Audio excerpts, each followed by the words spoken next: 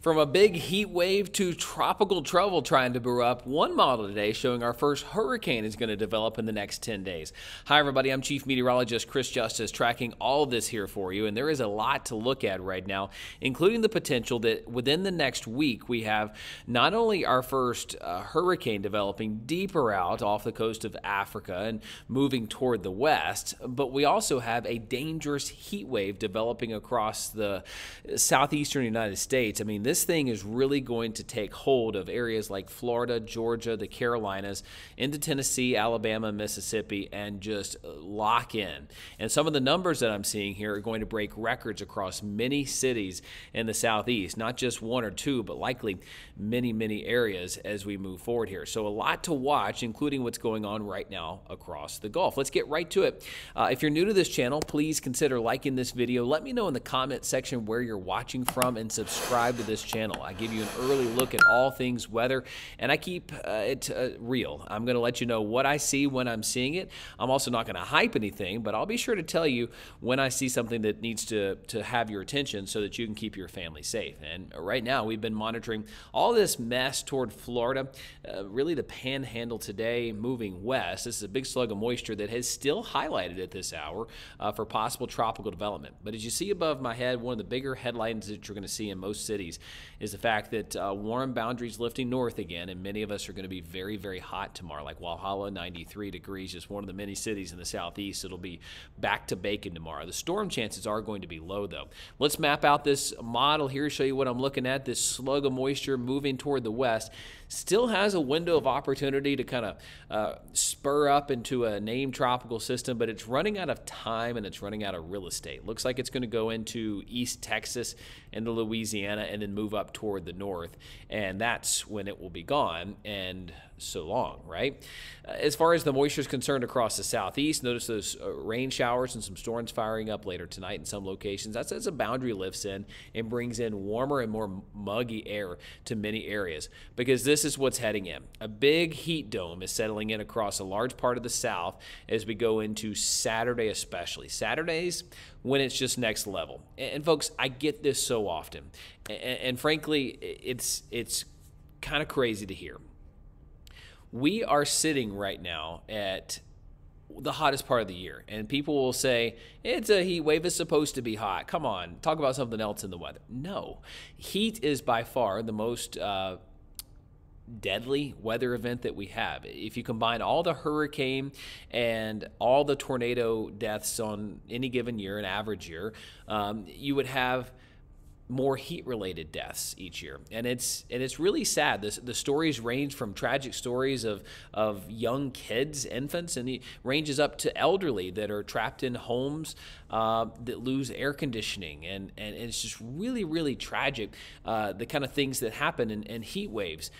Top health athletes. You, you, you, see these stories of middle schoolers, high schoolers that are just in the fittest shape of their life, uh, get into these hot situations outside where uh, it just takes its toll. And we just don't want to see that. So, my goal here is to let you know how hot it's going to be and for how long so that you can mitigate that by doing earlier practices, later practices. Some of you watching right now may be a coach, may have the ear of a coach please take this seriously. This is not just a, a, a warm streak coming in. Oh, you know, suck it up. It's summertime. No, this this is a dangerous kind of heat wave. Let me show you why. It's going to sit here, this big ridge just doubling down Saturday. Here's Sunday. The the anomalies here, the deeper the red is, the higher the pressure. This thing is just locked in. It says we're not going anywhere. This goes into Monday.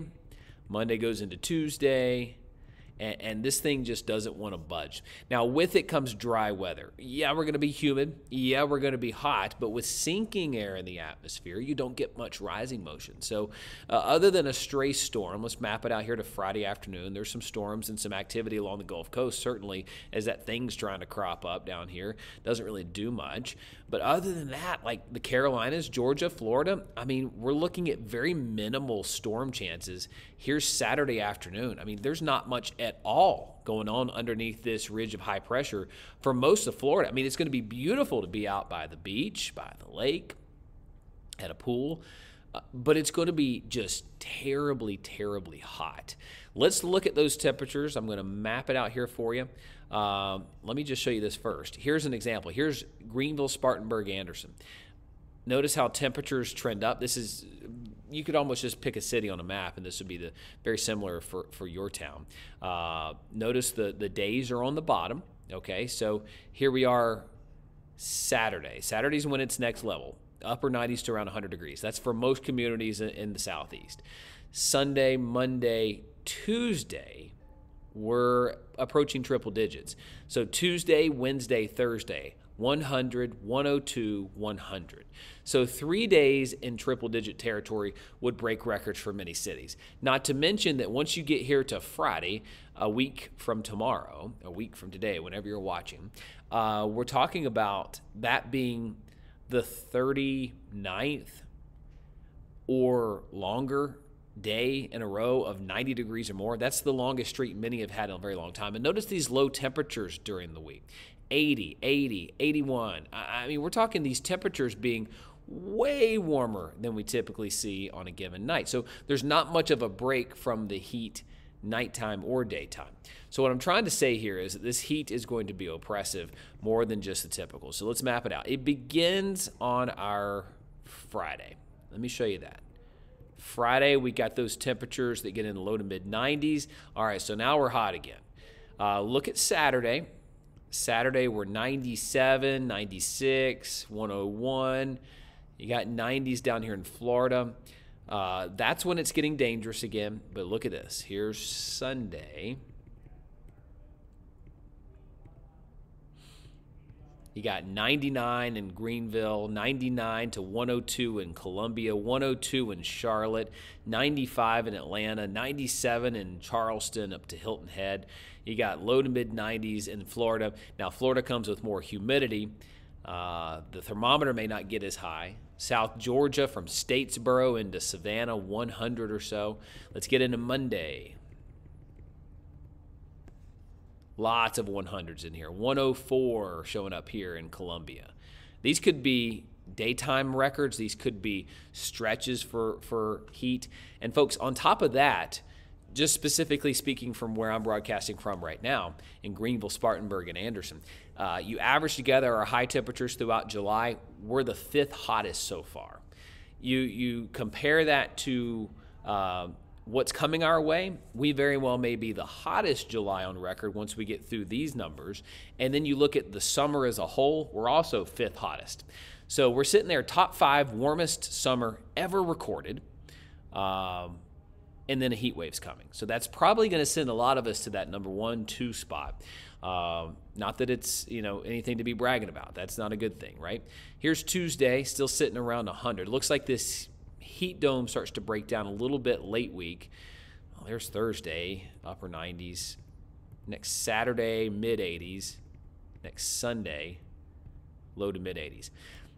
That does look like that first few days of August. We're back cooling down just a bit. You see that here on the bar graph too. So extreme heat back down to below normal, and below normal is mid 80s. So still hot, but probably coming with better rain chances in here. And speaking of rain chances, we need to look at the tropics because that's about the only thing that, that really could give anybody a chance at anything right now because this big dome is going to take over. And we've been monitoring the satellite in a couple of different areas. And we need to stay highlighted in on what's happening deeper into the Atlantic. I know many of you are watching right now from Caribbean islands. Uh, my last video, just looking at the comments, which folks, if you can, let me know in the comment section where you're watching from. Share this with your family and friends. I had folks watching from Trinidad and Tobago. We had folks in uh, the Caribbean islands, Lesser Antilles. Jamaica had dozens of people watching right now. I thank you for that. That means a lot lot that you're tuning in from where you're watching from right now for a tropical update, and I don't take that lightly. So let's look at what's going on deeper into the Atlantic. Now, the Cape Verde Islands, there's a couple of waves we need to watch, and closer to the Carolinas, to southeast, that big bubble of moisture does not look like it's going to develop anything. But what could? Well, let's look at the models as they ran today. We'll start with the uh, European. Does it show anything bubbling up? Going out into time into this upcoming week couple of areas of lower pressure. And we got this right there the operational run showing a little spin up here. Right there. It's identifiable, but it's not strong. Okay, getting a little stronger here. This would be August 3rd. A little stronger there. That's August 5th. All right. So, so if that's all that it showed me, I'd say, okay, good. I, have got an idea that something, something, that wave is trying to form. Okay, so that's that's one model showing me what the pressure may be like. Okay, what about the rest of the models? I like looking at an average of them all. So, what does an average of all 51 different models, what is the worst case scenario showing here? This is the member wise minimum. So, this is the all 51 different runs. What's the minimum? What's the worst case scenario? The lowest pressure. All right, let's look that through. Here we go. There's that same low, average of the models now. Okay, so you got you got a low right there. 998, getting closer to the Windward Islands. All right, 996, approaching Puerto Rico. 983, you got a couple other little bubbles in here. 987, is that 967? That's 967. 952, 947, 943. Those are big hurricanes, folks. So the European, at least the ensembles, a couple of the rogue runs here. You remember you got 51 of them. So uh, they're showing we could have the potential of a deep hurricane here.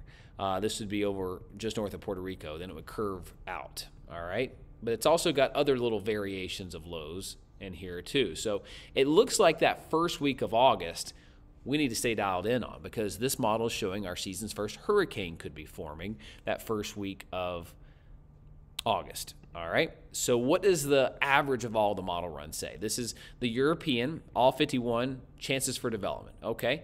We've been talking about the Southern Caribbean for a while, and I need to, you to watch that in Central America here. So, where are my Central America people at? We got anybody watching right now in Belize, Nicaragua? Well, you could have a little low rider here. This would be into the middle of next week. Then you got this wave that comes off coast of Africa. This is the one that the European just hinted at. Shows uh, deeper low, stronger chances for development, and the track is, let's just call it interesting.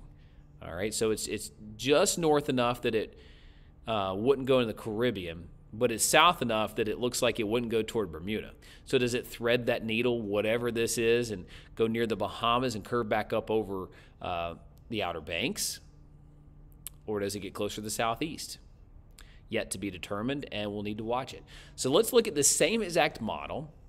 You see this? This is the the model, the European I just showed you, but it shows it in the form of low pressure systems, their numbers, and the tracks. Okay, so um, mapping that same model out, I'm not showing anything different, just the same one.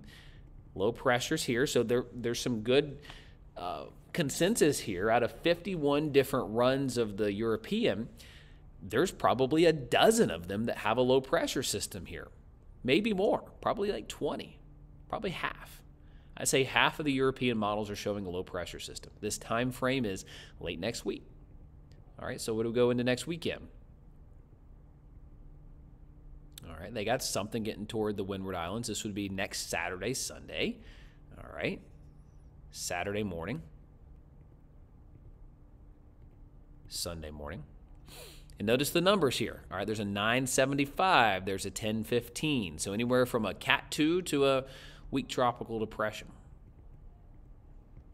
And that's as far as our model will go. All right, so it's got something here that first week of August that we need to stay dialed in on. What does it do? Where does it go from there? We've got to we've got to see. Does the GFS show anything? Let's map that out for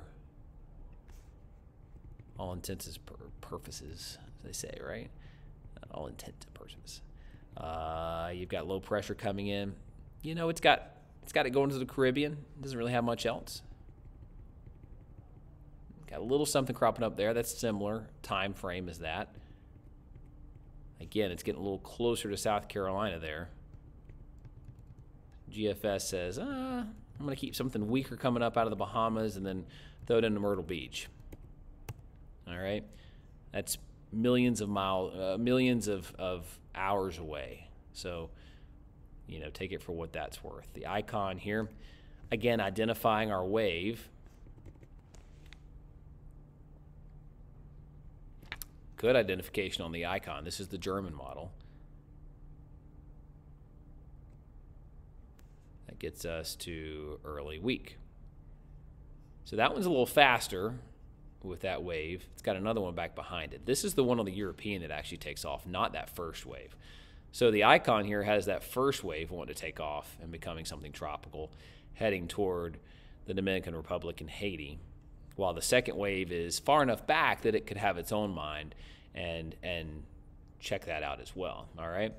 As we look at the outlooks for temperatures, you see a below normal one here. Now, this just issued today shows that uh, by that first week of August, we could have below normal temperatures along the East Coast. So, what does that tell me? Well, to get below normal temperatures in the summer, you have to have rain. You have to have a dip in the jet stream. So, if there's a dip in the jet stream, does that dip steer something out? Does it grab something up and, and push it somewhere? That's what we'll have to dial in on in the days to come. But you don't just get below normal very often. I mean, we're going to be super, super hot in the next week. This is uh, the first week of August. So, what changes from extreme heat this week to below normal the following week? We need to iron that out and see and what, what, what impact that may have. Because, like I suspected, you don't just get above normal, or I should say below normal temperatures without something to cause it. In this case, it looks like above normal precipitation for the southeast, and that is a little suspect. When do you get above normal precip in the southeast? Well, this time of year, it usually has some kind of tropical correlation to it, especially with a look like that. Where's it coming from? All right. So, something we need to stay dialed in on in the days to come, and, and you know that I will. Uh, folks, again, I really truly appreciate wherever in the world you're watching from right now. And I said world because many of you are literally watching worldwide right now, and I appreciate that. Let me know in the comment section where you're watching from right now, and I will keep you posted because as we move deeper into hurricane season, staying up to date is going to be key because things are going to be changing around the clock. Hope you have a good day. We'll talk soon.